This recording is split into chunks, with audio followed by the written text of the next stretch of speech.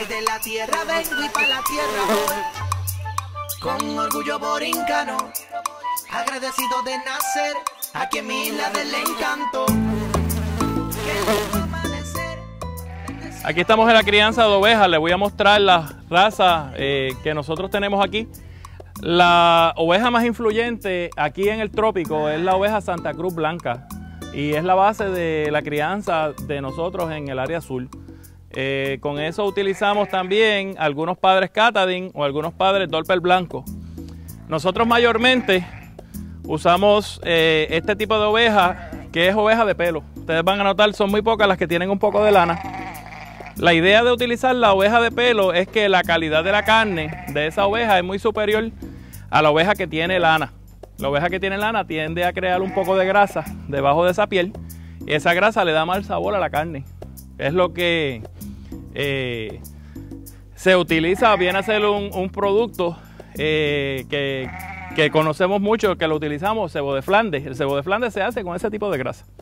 La producción de carne de oveja en Puerto Rico, hay mucha importación que ha estado esté surgiendo, pero estamos aumentando ya la producción de carne de oveja a, a nivel local.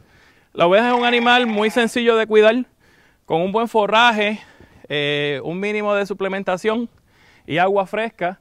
Y puedes tener una población de por lo menos cuatro ovejas con sus crías por cada cuerda de terreno que posea.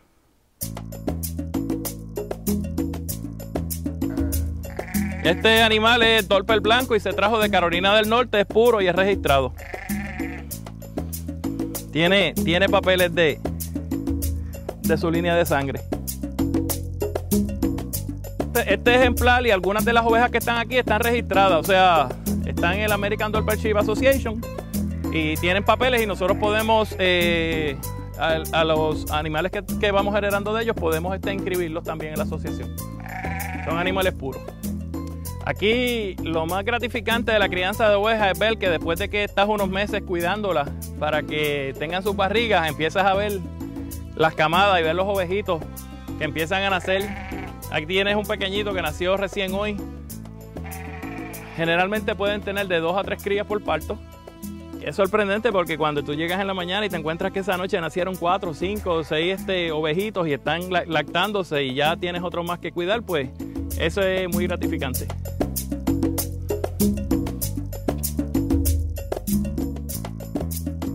Aunque vendemos algunos animales para carne, para consumo, la mayoría de las ovejas que se venden aquí se venden muchas hembras para levantar otras crianzas. Otras personas las compran para seguir haciendo atos nuevos. Porque hicimos un, hicimos un ato comercial. Al decirte alto comercial, son unos cruces de unas razas en particular que esas dan un buen resultado, bien aclimatadas, con poco mantenimiento y que son bien resistentes, paren muy bien y pues satisfacen pues las necesidades ¿verdad? de los agricultores que, que producen ovejas.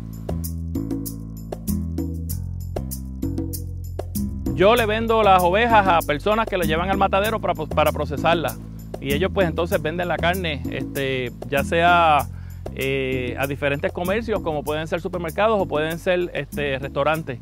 Y las hembras, que generalmente es el mercado local aquí, se venden, casi siempre hay una orden de, una lista de espera para agricultores que quieren comprar de ellas para seguir haciendo cría.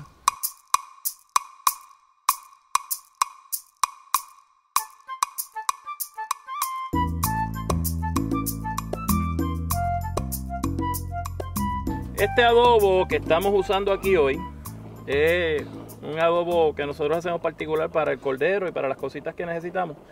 Le voy a hacer la promoción a nuestro amigo Luis de Finca Don Pupa porque usamos el aderezo que él prepara de piña como base. Se le pone un poco de orégano, aceite de oliva, ajo, una salsita de steak. Se le pone un poco de nuez moscada. Y con eso nosotros preparamos nuestro adobo particular para nuestra chuleta de cordero.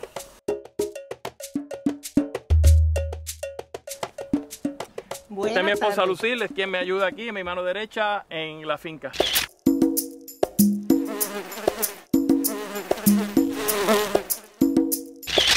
Ajá, buenas tardes. Yo soy aquí la que hace todos los alimentos para los animales. Específicamente estos corderos se alimentan con una mezcla que lleva una base de avena, ¿verdad? Que le suple las proteínas, también lleva una base en glucosa y se le añade un forraje. Toda esa alimentación se hace para obtener la calidad que tenemos aquí en este cordero. Bueno, el menú de hoy es esas exquisitas chuletas de cordero con arroz, que es un arroz parecido al arroz griego, pero hecho a lo lajeño. Nuestra variante. Ajá, que es nuestra variante, que lleva setas frescas, lleva arroz eh, integral, lleva eh, un poco de jamón de cerdo, lleva también Cebolla. cebolla este, y pues las setas, como le dije. Además el cordero nosotros en ocasiones también lo preparamos con papa, papa asada, batata y cebolla. Cuando tenemos que asar un canal completo, este, se pone, como yo digo, lo acostamos sobre una cama de papa, batata y cebolla, le ponemos una hoja de guineo encima, lo ponemos al horno en un fuego mediano por cerca de dos horas. Y cuando lo sacas y lo retiras, la carne se despega del hueso. Y Es las viandas quedan también Las viandas se, se las consumen antes que el cordero.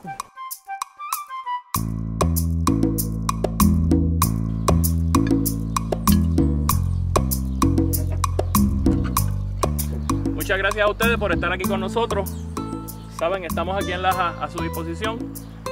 Lucilo Oliver, Harry Ramírez, Hacienda La Paz, crianza de eh, cordero, producción de heno. Gracias, buenas tardes y espero que pasen por aquí a la, a la mesa para que lo disfruten. Bienvenidos a disfrutar el cordero.